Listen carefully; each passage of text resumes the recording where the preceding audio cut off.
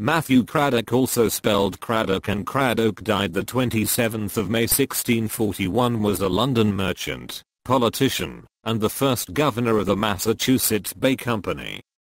Founded in 1628, it was an organization of Puritan businessmen that organized and established the Massachusetts Bay Colony.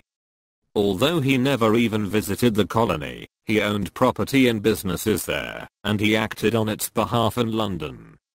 His business and trading empire encompassed at least 18 ships, and extended from the West Indies and North America to Europe and the Near East. He was a dominant figure in the tobacco trade. Cradock was a strong supporter of the parliamentary cause in the years leading up to the English Civil War.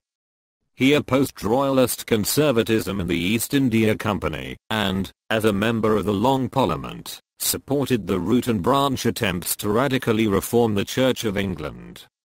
He played a leading role in the protestation of 1641, and died not long after.